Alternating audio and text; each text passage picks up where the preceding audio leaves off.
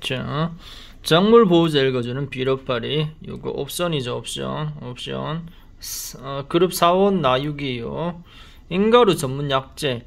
이게 잘 들어요. 인정합니다. 디네, 디페노코나졸, 피리오페논. 자, 음, 성분 함량은 5%랑 자, 10% 합쳐서 15%죠.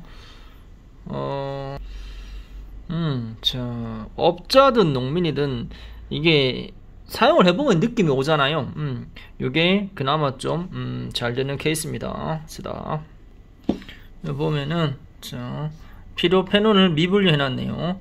디페노코나중. 음, 근본적으로 이게 4, 4, 4 쪽의 약이 효과는 좋아. 근데 살짝 좀 독하다. 이렇게 얘기하는 분도 계십니다. 자, 그리고 고추, 딸기, 멜론, 흰가루, 덩굴마름병. 이렇게 되어 있죠. 포도에도 되어 있네. 자, 한 말에 10cc 예방용이겠죠. 음, 수확 3일.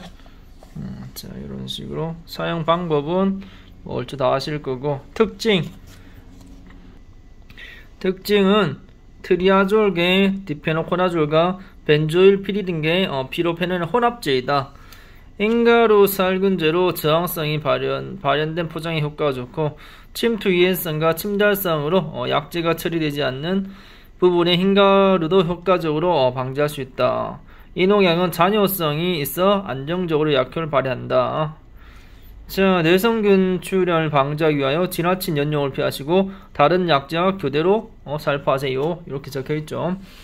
교대로 살포하세요. 뭐든지 잘 듣는다고 그만 치면 안 됩니다. 자, 참고하세요. 이상입니다.